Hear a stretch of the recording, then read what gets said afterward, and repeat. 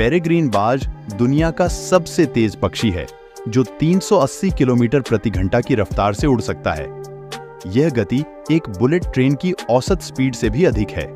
ये चिड़िया ध्रुवीय क्षेत्र को छोड़कर लगभग हर देश में पाई जाती है।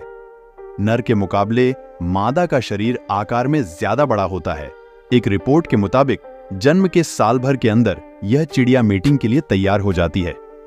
एक चौंकाने वाली बात यह भी है कि कई क्षेत्रों में इनकी संख्या दिन बाय दिन घटती जा रही है।